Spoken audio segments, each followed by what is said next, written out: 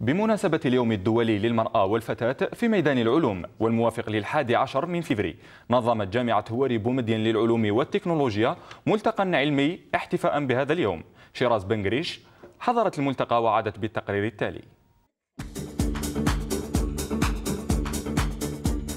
استطاعت المرأة أن تلعب دورا فعالا في المجال العلمي خاصة وأن الجزائر تحتل المرتبة الرابعة عالميا من حيث عدد النساء اللواتي دخلن مجال العلوم ويقمن ببحوث علمية.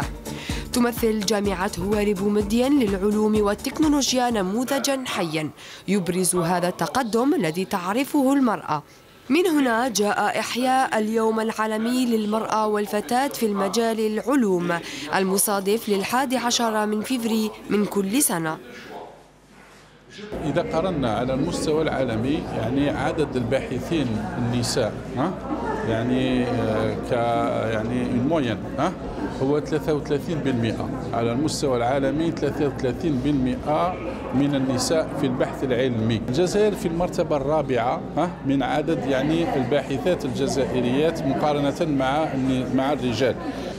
اليوم 11 فبراير وأول مرة جامعة العلوم والتكنولوجيا هو يعني آه تقدم آه هذا اليوم.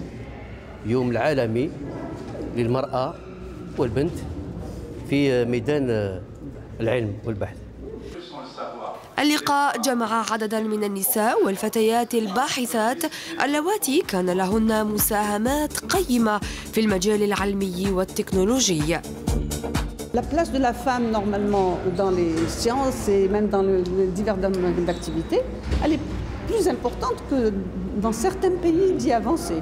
Parce que nous, chez nous, l'égalité de de, des hommes et des femmes est, consacrée dans la Constitution et même dans la, vie de tous les jours. Il, suffit seulement que la femme, c'est-à-dire qu'on a une société où on, avance essentiellement par la compétence et le mérite. La femme, il faudrait qu'elle s'impose dans, la recherche scientifique, imposer sa valeur en tant que femme, imposer son savoir-faire. C'est-à-dire la femme, elle peut carrément construire toute une génération que ce soit ses enfants en elle-même ou bien la génération qu'elle va enseigner. Elle va transmettre un savoir. Elle va transmettre, c'est une éducation culturelle aussi qu'elle transmet.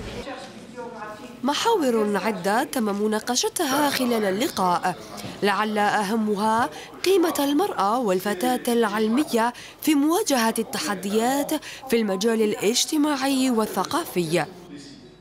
C'est une excellente initiative puisque c'est la première fois que la journée euh, des femmes des sciences et filles des sciences est organisée et on est très contente. C'est un encouragement pour toutes les femmes et surtout les filles de sciences. Et euh, à mon avis, ça ne peut être euh, qu'un encouragement constant. المسعى قائم لتشجيع المرأة والفتاة للتميز أكثر في ميدان البحث العلمي وفتح أفق جديدة لتعزيز مشاركتها في مختلف المجالات العلمية.